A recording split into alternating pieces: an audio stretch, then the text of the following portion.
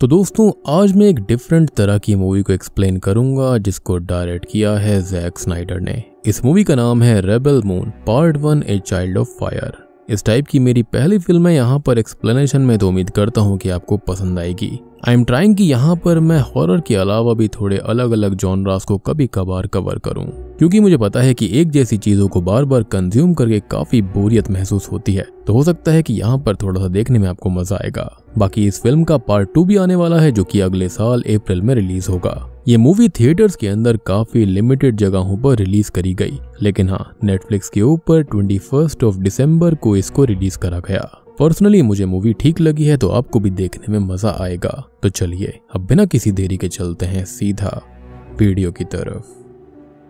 तो मूवी शुरू होती है एक नरेशन से, जो कि हमारे लिए इस मूवी का कॉन्टेक्स्ट होगा। तो हम कहानी जान पाते हैं मदर वर्ल्ड की, जो कि हमसे काफ़ी दूर एक दुनिया है, जहाँ पर हज़ारों राजाओं ने राज किया और सत्ता की भूख में अपने ही प्लेनेट को लगभग तबाह कर दिया। रिसोर्सेज को खत्म कर दिया, जिसके बाद उन्होंने अपने आसपास के प्लैनेट्स को भी खत्म किया और अपने अधीन बना लिया अपने रिसोर्सेज के लिए, उनको कॉन्कर कर लिया। लेकिन एक दिन राजा और रानी को उनके ही वफादार लोग मार देते हैं और रॉयल ब्लड लाइन को खत्म कर दिया जाता है, जिसके साथ मदर वर्ल्ड की सत्ता तो डगमगा ही गई थी। साथ ही साथ वहाँ का शासन भी बिगड़ चुका था, जिसके बाद एक सेनेटर ने मौका पाकर पावर को अपने हाथों में ले लिया और खुद को वहाँ का शासक बना लिया। अब राजा के मरने के बाद मदर वर्ल्ड ने जिन प्लैनेट्स को अपना गुलाम बनाया था, वहाँ पर क्रांति की आग शुरू हो गई और फिर उस सेनेटर बेलिसेरियस ने उन रेबल्स की आवाज़ दबाने और सब कुछ खत्म करने अपने सबसे ब्रूटल कमांडर्स को वहाँ पर भेजा और यहाँ पर शुरू हो जाती है कहानी part one the child of fire और हम किसी इम्पेरियम यानी कि हायर पावर वॉरशिप को देख पाते हैं, जो कि कहीं दूर स्पेस में एक वर्म होल ओपन करके एंटर करती है, जो कि अब दूर दूर के प्लैनेट्स तक जा रही है मदर वर्ल्ड की ग्लोरी को फैलाने के लिए और उन्हें कॉन्कर करने के लिए। तभी हम एक इंडिपेंडेंट प्लैनेट वर्ल्ड को देख पाते हैं, जहाँ पर कुछ लोग रहते हैं और उनमें से एक है कोरा जो कि अपने फादर या फिर गार्डियन के साथ ही रहती है, जो कि अपने फार्म पर काम कर रही है। कोरा को गनर नाम का एक आदमी बुलाने आता है और वो सब लोग शाम की मीटिंग में जाते हैं, जहाँ पर सभी लोग एक फैमिली की तरह रहा करते थे। फ़सल भी उगाया करते थे, जिसमें वो काफ़ी माहिर थे। अब उनका लीडर सेंद्री सबको ग्रीट करता है और सभी लोग जश्न मनाने लगते हैं और वो सब यहाँ पर काफ़ी खुशी से हँसते खेलते रहते हैं। खैर, अब कोरा को एक आदमी डेन काफ़ी पसंद करता है, जिसे वो भी काफ़ी पसंद करती है और उसके फादर उसे शादी करके घर बसाने की सलाह देते हैं। साथ ही साथ हमें ये पता चलता है कि कोरा असल में उनकी बेटी नहीं है, बल्कि वो उन्हें दो साल पहले एक क्रैश हुए शिप पर मिली थी, जिसको वो अपने साथ यहाँ पर ले आए थे, और तब से वो उसका ख्याल रख रहे हैं। खैर, अब अगले सीन में कोरा यहाँ की एक और लोकल लड़की सैम और बाकी गर्ल्स के साथ में फ़सल के लिए खेत में दाना डाल रही होती है। तभी वो लोग मदरहुड की एक वॉरशिप को आता हुआ देखते हैं, जिससे वो काफ़ी परेशान हो जाती हैं और सभी को अलर्ट कर देती हैं। अब जब तक वो शिप लैंड हो, तब तक सभी गाँव वाले आपस में बात करते हैं, जहाँ पर गनर कहता है कि उन्हें मदर वर्ल्ड वालों से डरना नहीं चाहिए, बल्कि उनके साथ सौदा करके उन्हें अपनी फ़सल बेचनी चाहिए। इसके अंदर उनका फ़ायदा है और वो पहले भी रेबल्स के एक ग्रुप को आखिरी साल ही फ़सल बेच चुका है। खैर, अब कोरा कहती है कि वो उन पर भरोसा नहीं कर सकते। उन्हें उनसे ये सच छुपाना होगा कि उनकी ज़मीन फर्टाइल है, क्योंकि वो लोग कब्जा करके गुलाम बनाते हैं और तबाही मचाते हैं। बेसिकली जैसा कि मैंने शुरुआत में बताया था कि वो दूसरे प्लैनेट्स के रिसोर्सेज को खत्म कर रहे थे खुद के फ़ायदे के लिए। खैर वो शिप लैंड हो जाती है, जिसके अंदर से मदर वर्ल्ड की ट्रूप्स निकल कर आती हैं, जिसको एडमिरल नोबल लीड कर रहा है। और वो सिंदरी से बात करता है और उसको बताता है कि वो स्लेन किंग या फिर लॉयल रिप्रेजेंटेटिव था। खैर वो सिंदरी से उसकी ज़मीन के बारे में पूछता है और गनर से भी पूछताछ करता है और वो यहाँ पर सिर्फ़ फ़सल के लिए आया था और सिंदरी उसे वापस भेजने के लिए बहाना बनाता है कि यहाँ की ज़मीन तो फर्टाइल ही नहीं है, वो सिर्फ़ उनके हिसाब का ही खाना जुटा पाते हैं। लेकिन वो उसे और उसकी बीवी को पीट पीट कर खत्म कर देता है और सबसे कहता है कि उसे उनसे फ़सल चाहिए। वो भी उनके इस्तेमाल से काफ़ी ज़्यादा। इसको सुनकर सभी लोग बहुत परेशान हो जाते हैं। लेकिन मना करने पर जान से वो चले जाएँगे तो सभी चुप रहते हैं। अब वो अपनी एक ट्रूप यहाँ पर छोड़कर वापस चला जाता है और ट्रूप एक घर को ज़बरदस्ती खाली करके वहाँ पर अपना बेस बनाती है। यानी कि ये सभी बहुत ही ज़्यादा रूथलेस थे। अब ट्रूप के साथ एक रोबोट भी आया था, जो कि है G C one four three five mechanicus militarium से। जो कि अपने जैसे रोबोट्स के साथ किंग का डिफेंडर हुआ करता था। बेसिकली आप इनको मैकेनिकल नाइट्स बोल सकते हो, और इसका नाम है जिमी अब एक सोल्जर भी उसे देखता है और उसके बारे में बात करता है कि जब से किंग खत्म हुए हैं, तब से उसने लड़ना छोड़ दिया, और वो उसको मारता भी है ये बात साबित करने के लिए, जिस पर जिमी कुछ भी रिएक्ट नहीं करता। खैर, अब वो थोड़ा गंदा हो गया था तो वो खुद को साफ़ करने जाता है, और वहीं कुछ सोल्जर सैम को भी थोड़ा परेशान करते हैं तो वो भी वहाँ से चली जाती है। अब वो जिमी के पास आती है, उससे थोड़ी बहुत बात करती है। और वो उसे स्लेन किंग और उनकी बेटी ईसा की कहानी सुनाने लगता है। ईसा को असल में गॉड एस ईसा का ही पुनर्जन्म माना जाता था और वो बाय बर्थ ही सबकी रक्षक थी। उसके जन्म से पहले ही जिमी और उसके साथियों ने अपना सब कुछ उसके नाम करने की शपथ ले ली थी। और जब वो जंग पर थे, तब उनको पता चलता है कि प्रोफेसी के हिसाब से उसका जन्म इंसानी रूप में हो चुका है, जिससे कि वो सब काफ़ी खुश हुए। और उनको ये लगता था कि वो दुनिया में पीस और कंपैशन के नए युग को शुरू करेगी, जिससे कि सब जगह पर जंग रोक दी जाएगी। सब कब्जे हटा दिए जाएँगे और जिमी अपने ट्रूप के साथ वापस घर चला जाएगा। लेकिन उसकी ताजपोशी के ही दिन उनके वफादार लोगों ने किंग, क्वीन और ईसा को खत्म कर दिया, सबके सामने लटका दिया, और तब से तो सब कुछ और ज़्यादा बिगड़ गया। मदर वर्ल्ड से खुशी, अच्छाई और दया हमेशा के लिए चली गई, जिस पर सैम उसको दिलासा देती है कि ईसा कहीं ना कहीं उसके दिल में ज़िंदा ज़रूर होगी, और वो उसको एक फ्लावर्स क्राउन भी पहनाती है, जिससे कि उसे काफ़ी अच्छा लगता है। अब यहाँ पर सभी लोग बात कर ही रहे थे कि उन्हें क्या करना चाहिए, जिस पर वो डिसाइड करते हैं कि वो लोग नोबल के आगे झुक जाएँगे और उनको एहसास दिलाएँगे कि ये फ़सल के लिए उसे उनकी ज़रूरत है तो वो उन्हें ज़िंदा छोड़ देगा। लेकिन कोरा ऐसा नहीं मानती थी और वो अपना सामान पैक करने लगती है यहाँ से जाने के लिए और वो खुद नोबल और बाकी लोगों को फेस करने से बच रही थी। उसका फादर उसे रोकने की कोशिश भी करता है, लेकिन वो जानती है कि एक तो मदर वर्ल्ड के लोग उन्हें मार देंगे, और अगर वो सबको जोड़कर लड़ना भी चाहेगी तो वो लोग मारे जाएँगे, क्योंकि तब कोरा को देख उनके अंदर एक उम्मीद आएगी। वो रेबल बनेंगे और फोर्स के आगे टिक नहीं पाएँगे। ऑब्वियस ही बात है, इतनी बड़ी सेना के सामने इतने कम लोग कैसे टिकते? कोरा अब अपने पिता के कहने पर रुक जाती है और हम सैम को देख पाते हैं जो कि सोल्जर्स को पानी देने आती है। लेकिन सभी लोग यहाँ पर उसे पकड़कर उसके साथ गलत करने की कोशिश करते हैं। लेकिन यहाँ पर पार्क नाम का एक सोल्जर उसे बचाने की कोशिश करता है, लेकिन वो लोग उसे भी पीट देते हैं। तभी वहाँ कोरा आ जाती है जो कि एक एक करके सबको मार डालती है और फाइनली लीडर बचा था जो कि सैम को पकड़ लेता है। और अब जिमी वहाँ पर आता है जिससे कि वो पार्क और कोरा को मारने का बोलता है। लेकिन उल्टा वो उसे ही शूट कर देता है, लेकिन हमने कोरा को नोट किया, जो कि काफ़ी अच्छे से लड़ना जानती है, लेकिन वो कैसे? क्योंकि यहाँ पर हमने उसे खाली खेती करते हुए देखा था। एनीवेज अब कोरा फैसला करती है कि उन्हें लड़ना ही होगा, और अब वो तैयार होती है, जिसे उसका फादर एक गन भी देता है, जो कि एक स्पेशल गन है। साथ ही साथ दिखने में नॉर्मल से थोड़ी अलग भी थी, जो कि उसी दिन क्रैश हुई शिप पर मिली थी। वो बताती है कि किसी रेल में एक हीरो कमांडर हुआ करता था टाइटस नाम का, जिसने अपनी फोर्सेस मदर वर्ल्ड के खिलाफ कर दी थी। तो वो उसे ढूंढेगी, और वो गनर से भी कहती है कि उसने ब्लड एक्सेस नाम की एक रेबल ग्रुप को अपना अनाज बेचा था। तो वो उससे भी उसे मिलवाए, क्योंकि ऐसे ही उनके पास लोग होंगे नोबल के खिलाफ लड़ाई करने के लिए। खैर अब वो गनर के साथ निकल जाते हैं अपनी लड़ाई के लिए लोग जोड़ने और रास्ते में गनर उससे ये पूछता है कि कोरा को कैसे पता कि नोबल की फौज सब कुछ खत्म कर देती है, जिस पर वो कहती है कि वो नौ साल की थी जब उसकी दुनिया पर कब्जा करने और तबाही मचाने के लिए मदर वर्ल्ड की एक फौज आई थी। बेलिसेरियस उस ट्रूप को लीड कर रहा था और उसे जंग बहुत ज़्यादा प्यारी थी। उसने सबको मार डाला। बच्चे, औरतें, किसी को भी नहीं छोड़ा। और उस दिन कोरा ने अपने परिवार को मरते देखा था और अब उसके सामने बेलिसेरियस आया और वो उसे मारने की कोशिश करने लगी, लेकिन मार नहीं पाई। और बेलिसेरियस ने उसके अंदर एक आग देखी, जिससे कि वो काफ़ी ज़्यादा इम्प्रेस्ड हो गया था और वो उसको अपने साथ ले गया। उसने उसे अपनी बेटी की तरह पाल पोस कर बड़ा किया और अगले पाँच साल तक वो वॉरशिप पर ही रही जहाँ पर कोई सॉफ्टनेस नहीं थी, बल्कि वॉर के हार्ड लेसन थे।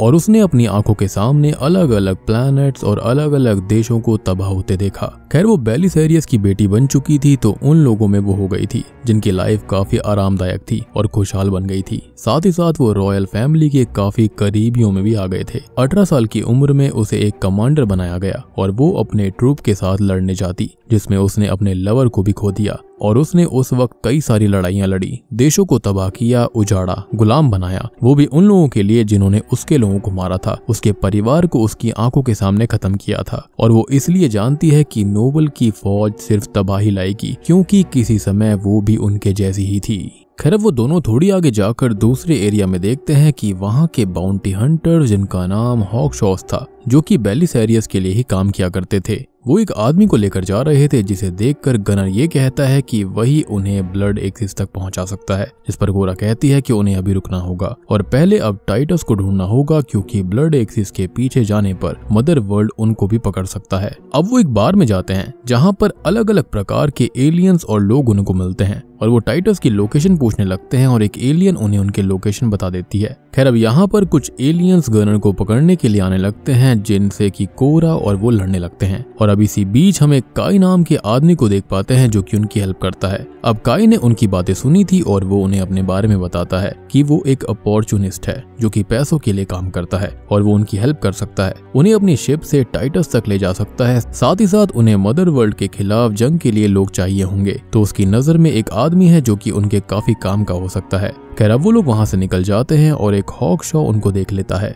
इसी बीच हम नोबल को देखते हैं जो कि ब्लड एक्सिस के पीछे पड़ा हुआ है और उन्हें डेस्पिरेटली ढूंढ रहा है। खैर, अब यहाँ पर वो तीनों पहले एक प्लेनेट पर जाकर टैरक नाम के एक आदमी से मिलते हैं, जिसे एक जमींदार ने कर्ज की वजह से बंदी बनाकर रखा था और कोरा उसे छुड़ाने की बात करती है, लेकिन इतने पैसे तो वो भी नहीं दे सकती थी। और वो जमींदार बेट देता है कि उसने एक बहुत बड़ी रेवन बर्ड पकड़ी हुई है, जो कि बहुत ही ज़्यादा एग्रेसिव और वाइल्ड है।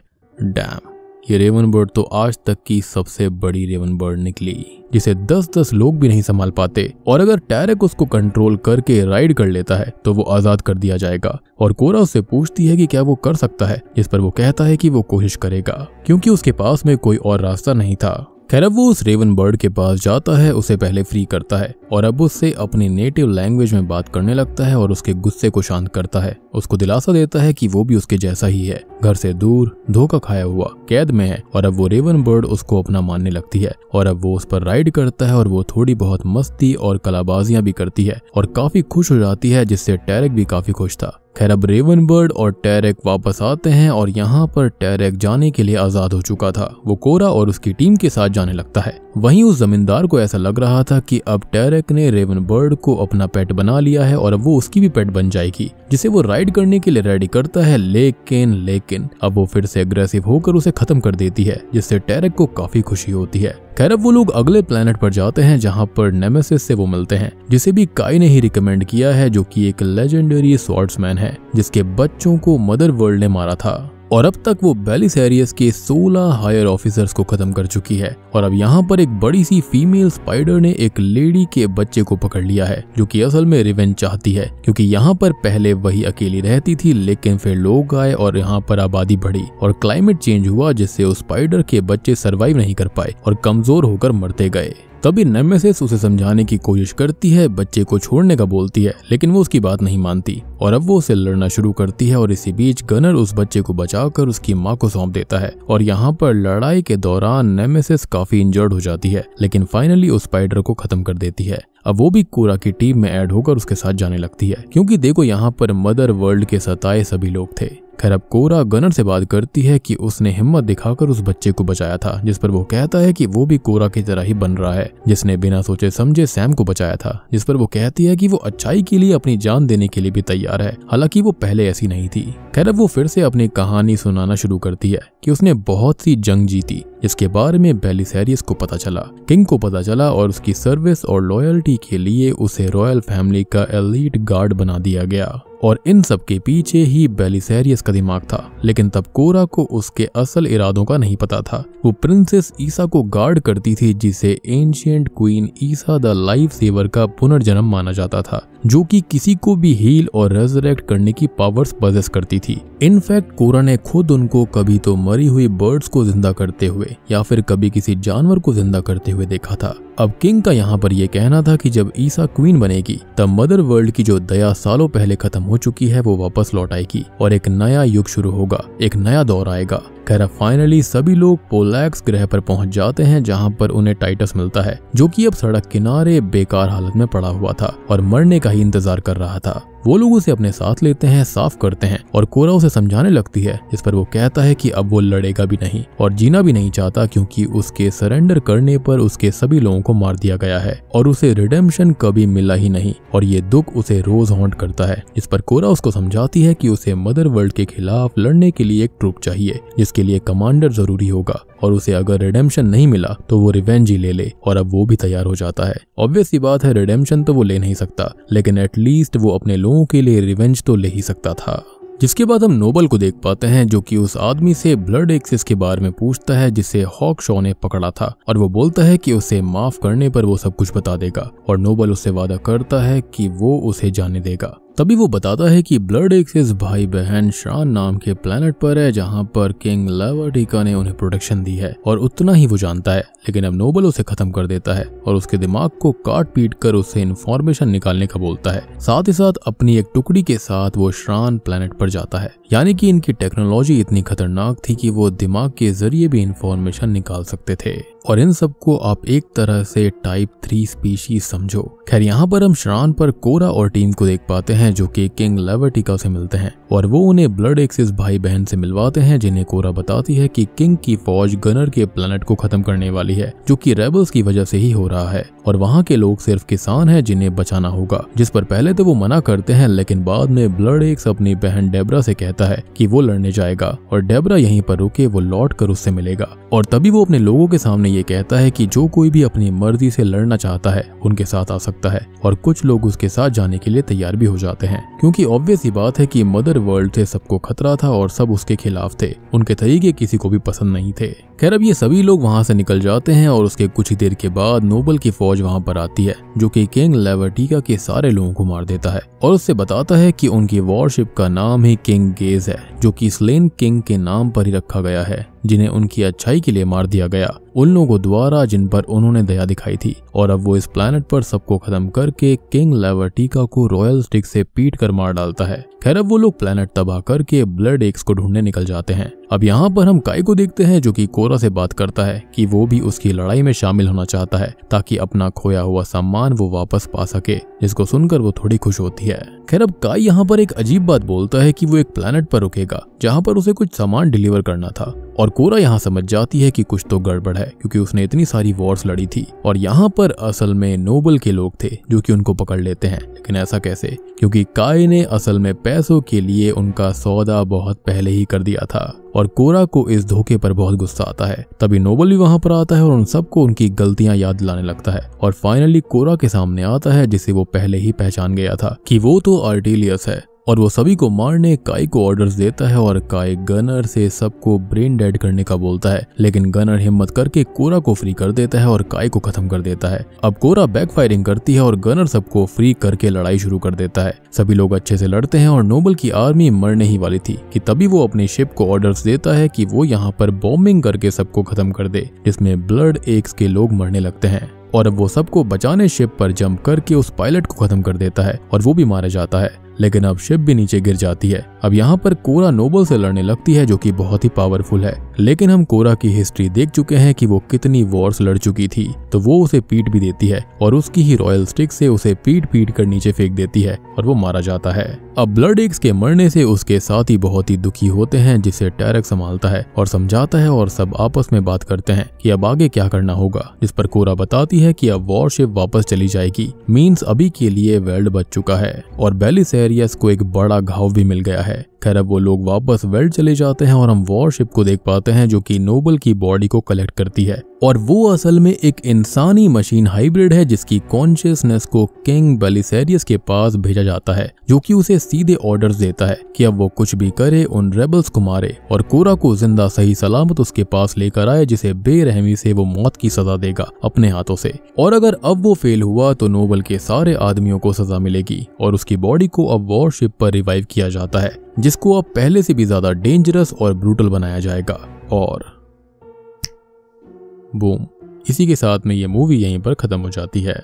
तो दोस्तों, ये थी जैक स्नाइडर की तरफ़ से रेबल मून फ़िल्म की कहानी, यानी कि part one a child of fire की कहानी। पार्ट टू यानी कि द स्कार गिवर भी जल्दी ही आएगी, यानी कि अप्रैल में 2024 के अंदर। एग्जैक्ट डेट बताऊँ तो अप्रैल 19th और अगर आप इस फ़िल्म को देखना चाहते हैं तो आप इसको देख सकते हैं नेटफ्लिक्स के ऊपर। काफ़ी सारी भाषाओं में ये अवेलेबल है तो आपको देखने में मज़ा आएगा।